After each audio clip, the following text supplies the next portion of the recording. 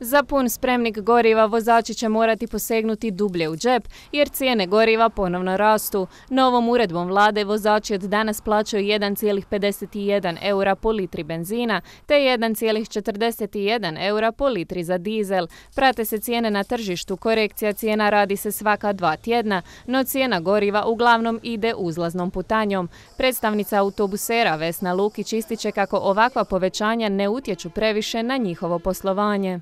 No, nije to nekako znatno povećanje, to je samo 5 centi na litru.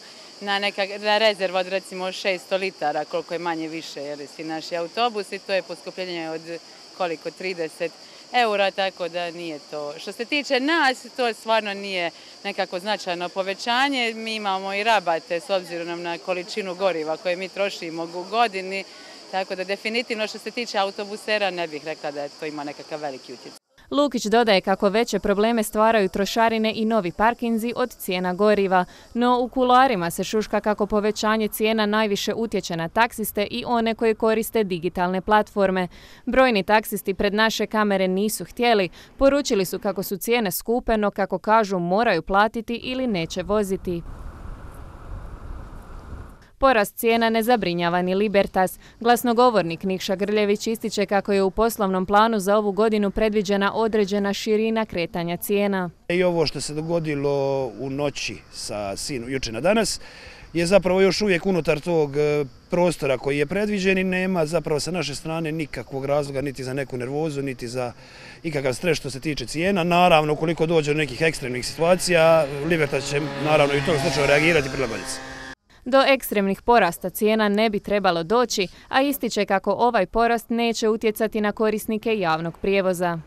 Pa ako pričamo o cijeni koštanja pokaza, ona je definirana ranije ove godine i ona je zapravo bila usklađivanje nazad zadnjih 8 do 10 godina, ovisi o, o kojoj kategoriji usluga koristimo. Tako da e, cijene su sada čvrste, stabilne i u nekoj doglednoj, previdivoj budućnosti ne bi trebalo dolaziti do njihovih promjena. Ekonomski stručnjak Davor Štern objašnjava kako je niz faktora koji utječu na cijene goriva za koje je, kako kaže, normalno da rastu tijekom ljetnih mjeseci. Poskupljenje koje obično dolazi ljeti, ljeti se pune zalihe prema zimi, Amerika puni svoje strateške zalihe, dok, još dok je cijena relativno niska, iskoristili su što su imali, raste potrošnja u Europi, mobilitet ljudi, na cijene, kako dodaje, svakako cijelo vrijeme utječe rat Ukrajine i Rusije. Nema razloga za brigu, no kako navodi, postoji mogućnost i da cijene rastu. Apsolutno, uvijek postoji mogućnost da cijene rastu, isto kao što postoji mogućnost da cijene padaju. Samo se nemojmo sada dati opet zavarati strane proizvođača i trgovaca da će im sad radi ovih poskupljenja koje su upravo nastupila morati opet oni nešto povećati cijene, to bi bilo potpuno neopravdano. Stalne promjene cijena, kako kaže, mogu izazvati negodovanja, no ističe kako se radi o cijenama ovisno o stanju tržišta te je na njih teško utjecati.